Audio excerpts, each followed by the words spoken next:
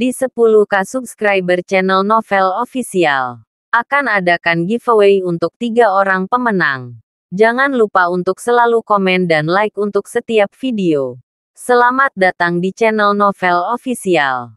Sebelum mendengarkan novel, perintah Kaisar Naga. Jangan lupa like, share, and subscribe. Kalau tidak kuretakan jantung kalian. Tanpa lama-lama lagi langsung saja kita masuk di cerita novelnya. Selamat mendengarkan bosku. Bab 751. Tan, Chen, Direktur Ren Jia. Sian ingin bertemu denganmu. Saya ingin tahu apakah Tuan Chen punya waktu. Kali ini, Sun Simiao menghampiri David dan bertanya dengan suara rendah. Di mana dia? David pun ingin melihat hadiah apa yang akan diberikan keluarga Ren ini kepadanya. Tan, Chen, kamu ikut aku, kata Sun Simiao, dan berjalan di belakang bersama David. Setelah melewati koridor dan memasuki kamar pribadi, Sun Simiao membuka pintu, dan David melihat seorang lelaki tua seumuran dengan Sun Simiao, dengan kuil putih duduk di dalamnya. Istana Tuan Sun ketika lelaki tua itu melihat Sun Simiao, dia buru-buru bangkit untuk menyambutnya.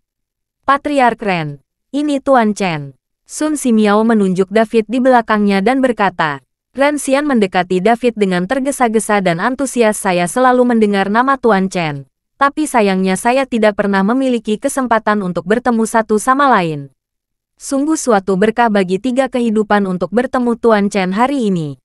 Sikap Ren sangat hormat. Bagaimanapun, reputasi David ada di sana, dan dia tidak bisa tidak menghormatinya. Patriark Ren sopan, David tersenyum ringan, tetapi dia dapat melihat bahwa keluarga Ren pasti mempunyai sesuatu untuk ditanyakan kepadanya. Setelah beberapa orang memasuki ruangan, Ren Xian sendiri menuangkan secangkir teh untuk David. Patriark Ren, Anda meminta saya untuk mengundang Tuan Chen ke sini. Pasti ada yang salah. Sun Simiao melempar batu bata untuk memimpin jalan giok. Ya, saya punya harta karun di sini. Itu membuang-buang uang di keluarga Ren kami. Jadi saya ingin memberikannya kepada Tuan Chen. Oleh karena itu, Ren Xian membuka tas kulit di dekatnya. Lalu mengeluarkan sesuatu yang terbungkus rapat dari tas kulit tersebut. Ketika Ren Xian membuka kemasannya lapis demi lapis, sebuah tripod tembaga yang sangat halus terlihat. Tripod perunggu itu hanya seukuran telapak tangan. Meski terlihat berkarat, tanda yang terukir di atasnya sangat jelas. Tan, Chen, ini tripod tembaga yang dibeli nenek moyang kita. Saya mendengarnya memiliki sejarah ribuan tahun. Itu telah disimpan di rumah. Saya memberikannya kepada Tuan Chen. Berharap itu berguna bagi Tuan Chen. Ren Xian mendorong tripod perunggu di depan David. Nenek moyang keluarga Ren adalah seorang miskin makam.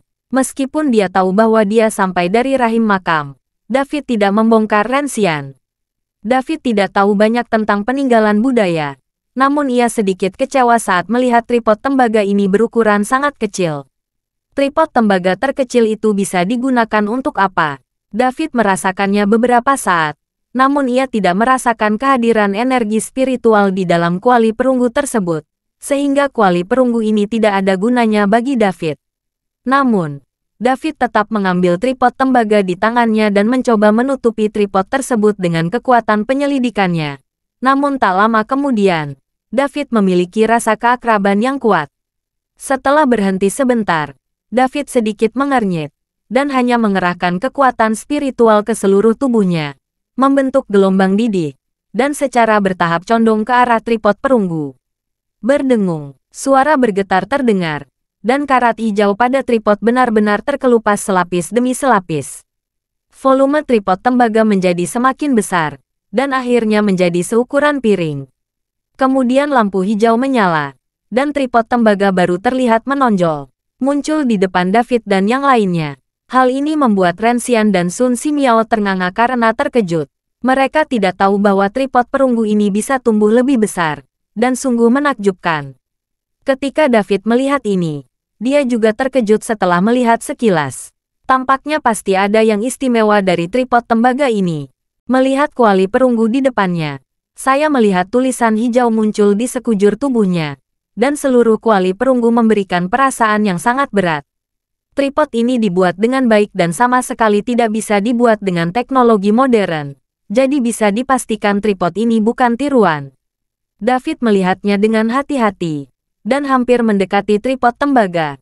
Dan dia melihat kata Senong di dalam tripod tembaga. Senong Ding, David tersentak, tidak bisa memercayai matanya. Bab 752 ini adalah salah satu dari 10 artefak teratas di zaman kuno, dan Senong Ding ada dalam daftarnya. Itu adalah danding yang diturunkan dari klan Senong kuno. Dia mendengar Ervin berbicara tentang artefak legendaris di masa lalu, tetapi dia tidak menyangka akan bertemu salah satunya hari ini. Anda harus tahu bahwa Senong Ding ini adalah eksistensi yang dijunjung oleh semua praktisi medis. Dia tidak menyangka akan datang ke Jiangnan sekali dan membiarkannya menemukan harta karun seperti itu. Di bawah kegembiraan, mata David tiba-tiba berbinar. Mengambil senong dinding. David dengan hati-hati melihat tulisan dinding. Ekspresi terkejutnya terlihat jelas. Terlihat dari masa kejayaan teknik dan bentuk branding ini memang benar adanya. Senong Ding, tangan David gemetar karena kegirangan. Ini benar-benar sebuah kejutan. Jika Anda menggunakan Senong Ding ini untuk meramu pil, maka David akan bisa meramu pil yang lebih canggih, dan mungkin dia juga bisa meramu pil tersebut. Jika dia benar-benar bisa berlatih si Suidan, dia tidak akan ragu untuk memberi Lin Tianhu dan Feng dua buah untuk dimakan. Dengan mencuci sumsum, -sum, alangkah baiknya jika Lin Tianhu dan Feng juga bisa melangkah ke dunia budidaya abadi. David membutuhkan kekuatan sekarang dan dia juga membutuhkan bantuan. Jika Anda dikelilingi oleh ahli keabadian, Anda tidak perlu takut. Melihat ekspresi bersemangat David, Rensian dan Sun Simiao saling berpandangan, sementara hati Rensian berlumuran darah. Tripod tembaga ini telah disimpan di rumah mereka selama beberapa dekade, dan selalu dianggap sebagai benda pemakaman pada dinasti Sang dan Zhou. Meski berharga, itu tidak berarti apa-apa bagi keluarga Ren. Ada banyak tripod tembaga yang lebih besar di keluarga mereka. Banyak tripod perunggu. Awalnya mengira kuali tembaga kecil ini adalah sampah paling banyak. Begitu pula Rensian. Membawanya. Tapi dia tidak ingin hal seperti ini terjadi. Saya tidak menyangka kuali tembaga menjadi lebih besar. Melihat ekspresi bersemangat David, Rensian tahu bahwa kuali tembaga ini itu pasti sebuah harta karun. Namun kini setelah diberikan kepada David, mustahil bagi Rensian untuk kembali. Patriark Ren, saya sangat menyukai tripod tembaga ini, jadi saya akan menerimanya. Jika Patriark Ren membutuhkan bantuanku dalam hal apa pun, jangan ragu untuk mengatakannya. David dengan lembut membelai tripod tembaga tersebut, dan tripod tembaga tersebut menjadi seukuran telapak tangan lagi, dan langsung digendong oleh David. Melihat David mengatakan ini, Rensian langsung sangat gembira. Kekesalan di hatinya hilang seketika, dan dia berkata dengan penuh semangat, Jangan sembunyikan Tuan Chen. Ada yang ingin saya minta. Tolong beritahu saya, selama saya bisa membantu, saya pasti akan. Ketika David mendapatkan Senong Ding, dia sangat bersemangat, jadi dia melambaikan tangannya. Ren Xian melirik Sun Ximiao, lalu mengikuti David dan berkata, Tuan Chen, Ku dengar selain keterampilan bela dirimu, keterampilan medismu juga tidak terduga. Kebetulan istri saya sakit dan sembuh. Saya harap Tuan Chen dapat membantu Anda melihatnya. Periksa ke dokter. David tercengang. Dia tidak menyangka Rensian begitu murah hati. Dan dia sebenarnya diundang ke dokter. Dan sepertinya Rensian dan Sun Simiao sudah akrab satu sama lain. Mungkinkah Tuan Istana Sun tidak bisa melihat penyakit istri Tuan Ren?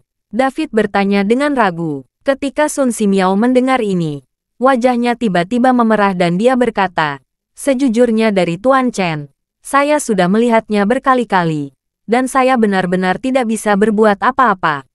Bahkan Istana Master Sun tidak bisa melihatnya. Terlihat bahwa ini memang penyakit yang sulit dan bermacam-macam. Aku akan pergi ke istana besok untuk diam. David mengangguk setuju namun tidak pantas pergi ke rumah orang lain untuk menemui dokter pada malam hari. Terima kasih banyak, Tuan Chen. Terima kasih banyak. Melihat David setuju, Rensian berulang kali mengucapkan terima kasih.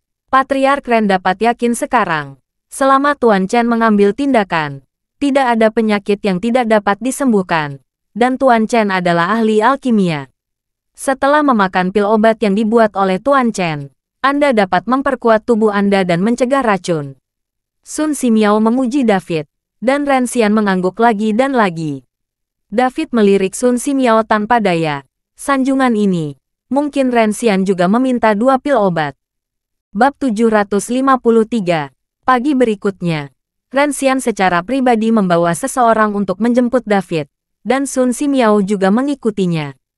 Tentu saja, dia juga ingin melihat bagaimana David mengobati penyakitnya, sehingga dia bisa mengambil pelajaran dari penyakitnya. Keluarga Ren tinggal di pinggiran barat Lingzu, seluas lebih dari 10 hektar. Tan, Chen, itu ada di depan. Tempat ini baru dipindahkan. Tempat di mana saya dulu tinggal terlalu kecil. Ren Xian memimpin David untuk berbicara. Patriark Ren, kamu terlalu rendah hati. Tempatmu sebelumnya luasnya ribuan meter persegi, dan masih kecil. Kamu benar-benar punya banyak uang. Sun Simiao berkata dengan bercanda. Hahaha, betapa kaya dan kuatnya. Di hadapan ahli bela diri seperti Tuan Chen dan Tuan Istana Sun, uang adalah hal yang biasa. Ren Xian tertawa. Begitu David masuk ke dalam keluarga Ren, dia merasa ada yang tidak beres. Seolah-olah seluruh keluarga Ren diselimuti oleh sesuatu. Meski energi spiritual masyarakat saat ini tipis, bukan berarti tidak ada sama sekali.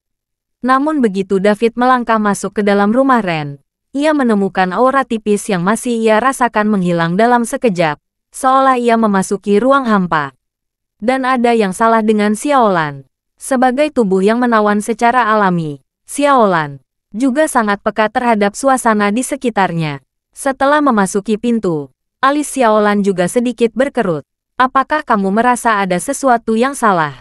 David bertanya pada Xiaolan. Xiaolan mengangguk begitu saya memasuki halaman ini. Saya selalu merasa tercekik. Energi di tubuh saya sepertinya terhalang oleh sesuatu. Dan tidak ada cara untuk mengeluarkan energi dari dantian saya. David mendengarkan. Tersenyum tipis. Dan tidak berkata apa-apa. Dia tahu bahwa keluarga Ren pasti sudah dimasukkan ke dalam formasi. Tetapi David tidak tahu mengapa keluarga Ren dimasukkan ke dalam formasi. Jadi dia harus menemui pasiennya terlebih dahulu. Jika pasien tidak memahami formasi, David tidak mau bertanya tentang formasi. Sekarang, lebih baik dia melakukan lebih dari satu hal. Tan, Chen, aku akan membuatkanmu secangkir teh longjing yang enak. Kamu duduk dulu. Setelah memasuki kamar, Rensian mempersilakan David untuk duduk, lalu pergi membuat teh. Tuan, izinkan saya datang. Seorang pelayan buru-buru berkata pada Rensian. Lagi pula, hal-hal seperti membuat teh dan menuangkan air semuanya dilakukan oleh pelayannya. Jangan khawatir. Naik ke atas dan dorong wanita itu ke bawah. Dan katakan bahwa ada tamu. Rensian memegang tangannya. Pelayan itu mengangguk dan pergi. Ren Xian menyeduh sepoci teh longjing, lalu duduk di sofa dan berkata, Tuan, Chen, cobalah teh longjing ini. Semuanya teh baru yang enak. Tuan Istana Sun, kamu harus mencobanya juga. Jenis teh baru ini tidak umum. Ren Xian juga menyapa Sun Simiao. David tipis tersenyum. Faktanya, dia tidak tahu bagaimana cara mengukur teh, dan hampir semua teh memiliki rasa yang sama ketika sampai di mulut. Beberapa orang sedang bersantai sambil minum teh. Patriark Ren, ketika vilamu sedang dibangun, apakah kamu meminta permintaan untuk melihatnya? David mau tidak mau bertanya pada Rensian. Aku telah melihatnya. Pemilihan lokasi, konstruksi, termasuk ukuran dan orientasi. Semuanya diarahkan oleh sang master. Harganya lebih dari 5 juta. Saya mendengar bahwa master ini berasal dari pavilion Tianluo. Itu sangat terkenal. Ren Xian tidak menyembunyikan apa pun dari David. Dia mengangguk dan berkata, Pavilion Tianluo. David sedikit mengernyit, seolah dia belum pernah mendengarnya. Namun, ketika Xiaolan, yang berada di samping David, mendengar ini, dia tiba-tiba berseru. Orang-orang di Pavilion Tianluo menunjukkan Feng Shui ini.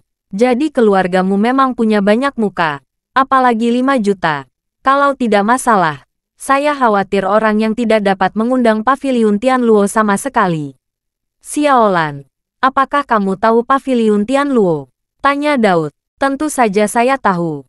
Paviliun Tianluo didirikan oleh Nisidao, seorang guru Tao terkenal di barat daya kami. Dan dia menggunakan berbagai teknik rahasia Feng Shui, Jiugong Feixing, dan lima elemen bagua untuk menciptakan serangkaian formasi naga yang menipu.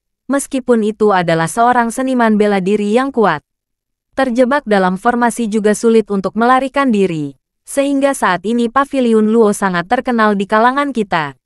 Xiaolan mengikuti David untuk menjelaskan. Bab 754. Oh David mengangguk. Dia tidak mengira Luoge menjadi begitu kuat hari ini. Jadi dia bertanya kepada Renxian. Saya tidak tahu bagaimana Patriark Ren bisa berhubungan dengan guru Luoge hari ini. Lagi pula, tempat ini berjarak ribuan kilometer dari barat daya. Bahkan jika Paviliun Tianluo memiliki pengaruh, itu tidak akan mempengaruhi ribuan mil jauhnya. Putra bungsu saya mengenalnya. Dia membawa rumah untuk membawanya. Ada apa? Tuan Chen, apakah ada yang salah dengan rumah ini? Rensian memandang David dengan aneh. Oh, jangan apa-apa. David tipis tersenyum. Karena putra bungsu Rensian yang memimpin keluarga, David tidak bisa berkata apa-apa.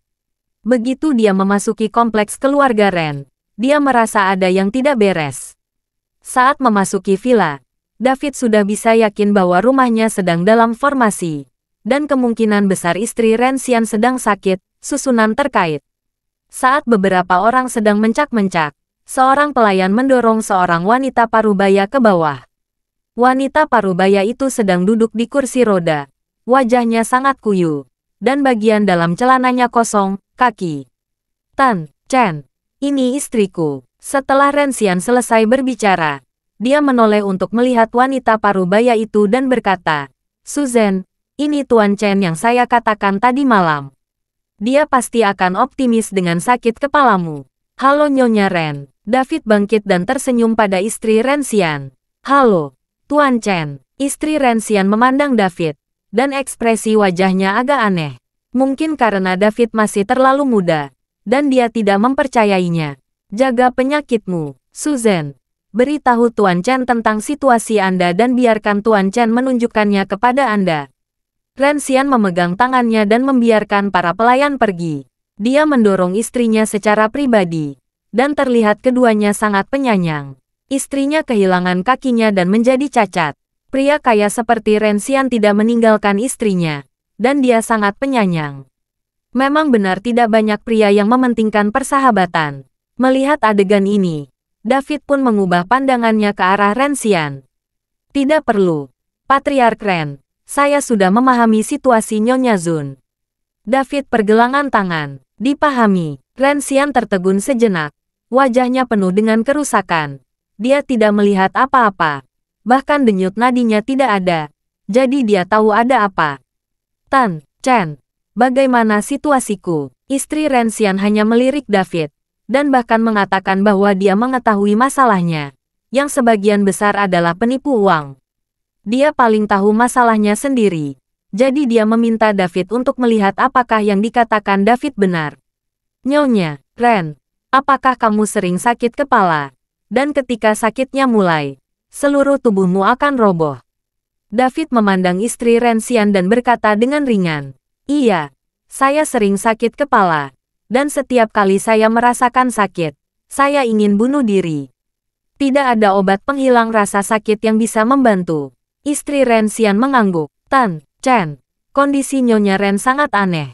Selama sakit kepala mulai muncul, tidak ada cara untuk mengendalikannya. Dulu saya pakai obat penenang untuk meredakan sakit kepala Bu Ren, tapi tidak ada gunanya sama sekali. Tapi asal dibiarkan saja akan memakan waktu cukup lama. Sakit kepala, Menghilang dengan sendirinya, saya memeriksa tubuh dan kepala Nyonya Ren, dan tidak ada masalah sama sekali. Sun Simiao mengikuti David dengan wajah bingung. David tersenyum ringan Nyonya, tubuh Ren tidak sakit. Bagaimana kamu bisa begitu buruk? Penyakitnya ada di hatimu. Dalam hatimu, kali ini, Ren Xian dan Sun Simiao memandang David berbarengan, ingin mendengar penjelasan David. Ya, penyakit nih, Su ada di hatinya. Alasan mengapa dia sering sakit kepala dan tidak bisa mengendalikannya adalah karena dia tidak bisa tidur di malam hari, dan sering mengalami mimpi buruk. Dengan sedikit trik, ini telah menjadi situasi saat ini. David mengangguk sedikit. Bab 755. Susan, benarkah begitu? Bukankah aku mendengarmu mengatakan bahwa kamu mengalami mimpi buruk di malam hari? Melihat ini, Rensian buru-buru bertanya kepada istrinya. Entah kenapa, mata istri Rensian menjadi cerdik, wajahnya jelek, dan dia ragu-ragu dan tidak mau menjawab secara langsung. Biasanya itu hanya mimpi buruk di malam hari, jadi kenapa enggan mengutarakannya? Apa yang kamu bicarakan? Apakah yang dikatakan Tuan Chen benar? Apa yang salah denganmu? Apakah ada sesuatu yang kamu sembunyikan dariku? Melihat istrinya mengelak dan tidak menjawabnya secara langsung, Rensian merasa sangat aneh. Wo tiba-tiba istri Rensian menangis dan dia menangis dengan sangat sedih. Melihat istrinya menangis, Rensian panik. Susan, kamu, jangan menangis. Apa yang terjadi? Rensian bertanya dengan cemas. Namun saat istri Rensian hendak membuka mulutnya, dia melihat seorang pemuda yang sangat energi dengan setelan jas dan sepatu kulit masuk, dan di samping pemuda itu ada seorang pemuda seumuran. Ayah, Aku mengundang Ning Yu untuk berdiskusi denganku. Pemuda berjas itu berbicara kepada Rensian. Orang ini adalah putra Rensian, Rensi Chong. Pemuda di samping Rensi Chong melirik sekilas, dan akhirnya tatapan matanya pada Xiaolan. Setelah sedikit mengernyit, dia segera mengalihkan pandangannya. Melihat kehadiran Sun Simiao, Rensi Chong segera mengangguk ke arah Sun Simiao dan berkata, Halo, Tuan Istana Sun. Sun Simiao juga tersenyum pada Ren Si kondisi Chong masih sangat energik, dan mulutnya. Ketika Ren Si Chong melihat David, dia hanya meliriknya dan tidak berbicara, karena dia tidak mengenal David. Namun saat mata Ren Si Chong menyapu Xiaolan, dia langsung terpesona oleh kecantikan Xiaolan. Penampilan bidadari Xiaolan, serta wajah pisau dan kapak, tubuh iblis berkerut, dan tubuhnya memancarkan pancaran wangi tubuh Ren Chong seketika terpesona, menatap Xiaolan dengan penampilan mata. Bahkan jangan berkedip. Uhuk-uhuk, melihat anak memandang Xiaolan dengan tidak masuk akal. Ren Xianzong terbatuk dua kali. Meskipun Ren Xian tidak tahu apa hubungan antara Xiaolan dan David, tetapi putranya sangat tidak masuk akal. Jika dia membuat kesal David, kerugiannya tidak sebanding. Mendengar batuk Ren Xian, Ren Chong kembali sadar dan buru-buru bertanya pada Ren Xian. Ayah, siapa cantik ini? Si Chong, ini Tuan Chen yang saya bawa untuk membahas ibumu. Ren Xian tidak memperkenalkan Xiaolan terlebih dahulu, tetapi menunjuk pada perkenalan David, dan kemudian melanjutkan gadis ini adalah teman Tuan Chen dan datang ke sini bersama-sama. Ren Xian memperkenalkan seperti ini untuk membuat Ren Chong sedikit menahan diri. Ren Xian tahu bahwa putranya adalah seorang bejat, tetapi dia juga harus memisahkan diri. Ren Chong hanya menatap David dengan dingin, tetap tidak berbicara, melainkan berjalan langsung ke arah ibunya, sambil berjongkok dan berkata, Bu, apakah ibu sudah merasa lebih baik? Ibu Ren Chong mengangguk penuh semangat sudah lebih baik, dan sakit kepalanya sudah tidak terlalu serius lagi. Tapi, jangan khawatir, aku membawa Ning Yu dia pasti akan menyembuhkan sakit kepalamu Ren Si Chong menunjuk pemuda di depannya dan berkata, Tuan Ning, sungguh merepotkan bagimu untuk lari. Ibu Ren Si Chong tersenyum pada Ning Yu. Bibi, jangan berkata begitu. Aku dan Si Chong adalah teman sekelas. Memanggil saja namaku kata Ning Yu dengan sangat sopan. Melihat Ning Yu ini, mata David sedikit bertanya. Lalu dia bertanya pada Ren Xian, ini teman sekelas putramu. Ya, villa saya juga dipilih oleh Ning Yu untuk membantu Anda melihatnya. Sekarang dia belajar di pavilion Tianluo. Ren Xian mengangguk dan berkata, Terima kasih sudah mendengarkan cerita novel Perintah Kaisar Naga. Sampai jumpa di cerita selanjutnya.